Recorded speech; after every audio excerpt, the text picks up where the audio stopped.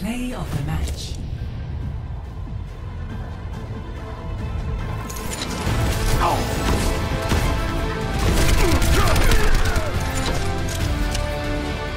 I've got you in my